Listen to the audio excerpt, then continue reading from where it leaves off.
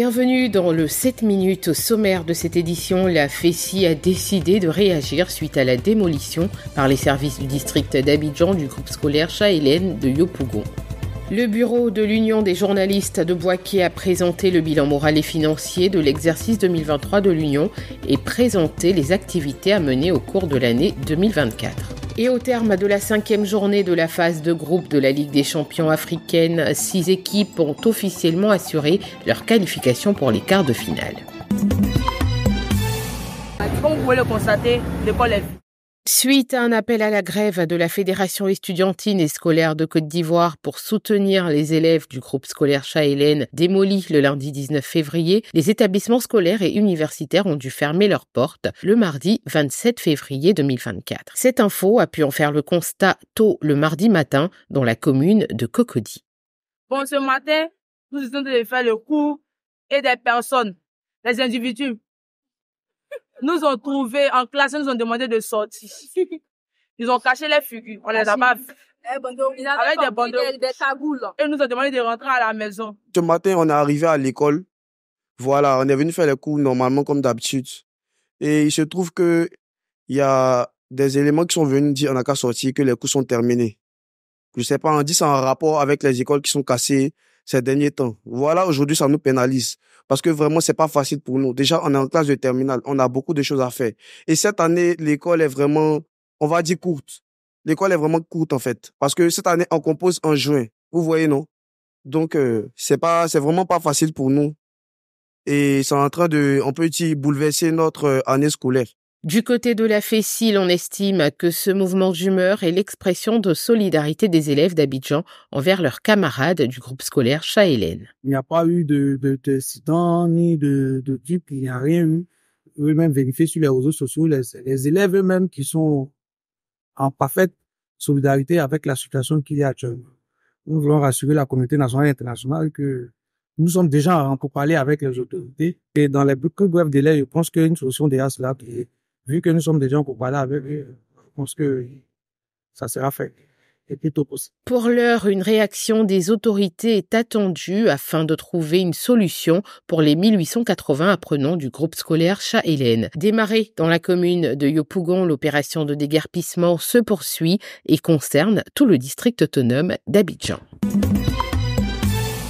L'Union des journalistes de Boaké, fêtière des hommes de médias, tout domaine confondu, était réunie en Assemblée générale ordinaire à la grande salle de réunion de la délégation régionale de la Chambre de commerce et d'industrie de Boaké. À l'ordre du jour, la présentation du bilan de l'année 2023, la révision des textes de l'Union et la feuille de route des activités à mener au cours de l'année 2024. On a dégagé une feuille de route pour l'année 2024. Plusieurs actions seront menées L'accent sera mis sur la, formation des membres. Quatre formations sont euh, inscrites pour l'année 2024. Les formations pour les, journalistes de la télé, de la radio, de la presse écrite et de la presse en ligne.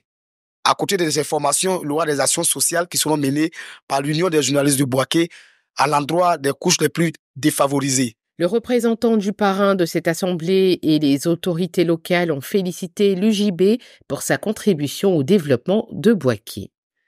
J'ai dû d'abord euh, féliciter et saluer l'union qui a été mise en place par euh, nos amis les journalistes de Boaké. On ne peut rien faire ici sans l'union, sans la cohésion. Et également leur demander de faire dans la transparence et avec tout, toute l'honnêteté possible le travail de journalisme dans lequel, bien entendu, ils exercent. Créée en 2012, l'Union des journalistes de Boaké est à son troisième président. La contribution du journaliste au développement local, c'était le thème de cette assemblée générale. Le RHDP veut être incontournable en Côte d'Ivoire et pour y arriver, il s'en donne les moyens en organisant un enrôlement dans une base de données de tous ses militants. À mi-parcours de cette opération, une mission de vérification dans les différentes régions politiques est en cours. Émissaire du parti présidentiel dans le Tongbi, Pierre Dambangu a salué les efforts des responsables locaux. Je peux dire que en venant ici, nous nous sommes rendus compte que le RHDP est dynamique et en marche. Euh, sur l'objectif qui leur a été fixé, je pense qu'à mi-parcours, ils sont à plus de 50% des militants recensés. Et quand on regarde même le, le personnel politique au niveau, donc, euh, que ce soit les élus, députés, sénateurs, ils ont toujours donné de vraiment euh, leur suffrage au RHDP. Je pense que ici, on peut dire que le travail est fait. Heureux de recevoir leur carte de parti, certains militants se sont exprimés au micro de cette info. Aujourd'hui, on ne peut pas décider d'accompagner un parti sans être inscrit dans ce parti-là. Et la seule marque qui prouve que nous sommes inscrits, c'est notre carte. Donc aujourd'hui, nous sommes venus, nous avons eu une belle cérémonie. On a eu beaucoup de conseils par les réunions techniques que nous avons eu à faire depuis la veille. Et les militants sont heureux de recevoir les cartes. Parmi ces militants, j'y figure. Donc c'est une joie. Et j'incite vraiment tous les enfants de la région du Tongpi de s'inscrire dans le e-militant. Mais c'est une impression de fierté, une carte euh, de haute, euh, issue d'une autre technologie. Mais en même temps, ce qu'il faut retenir, c'est que l'essentiel, il faut que les militants se fassent identifier. Nous, à Danané Commune, nous sommes vraiment à pied d'œuvre de faire en sorte que les objectifs soient atteints dans un mois. C'est une joie immense, c'est une fierté pour moi d'appartenir à un grand parti, un parti qui est en train de, dont le président est en train de développer la Côte d'Ivoire avec fierté. Donc pour moi, c'est une fierté de recevoir cette carte et puis euh, un encouragement à travailler davantage. À cette occasion, par la voix de leurs porte-parole, les départementaux et leurs militants ont invité le président Alassane Ouattara à se porter candidat en 2025. La cinquième journée de la Ligue des champions CAF de cette saison a été marquée par la qualification officielle de six équipes, assurant ainsi leur place en quart de finale. Grâce à sa victoire contre Medeama, un but à zéro, Al-Ali, champion d'Afrique en titre, poursuit la défense de son titre. Un succès qui a permis aux Égyptiens d'atteindre pour la huitième fois consécutive ce stade du jeu. D'autres écuries se sont également qualifiées pour les quarts de finale. Il s'agit des Ivoiriens de la SEC Mimosa, des Sud-Africains des Mamelody Sundowns et actuels vainqueurs de l'African Football League, des Angolais du Petro Luanda, des Congolais du TP Mazembe, ainsi que des Tanzaniens des Young Africans qui feront partie du Grand 8 africain.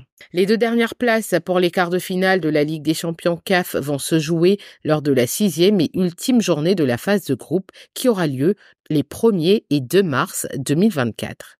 Voilà qui met fin à cette édition. Merci de nous avoir suivis. L'information continue sur cette info et sur www.cetinfo.ci.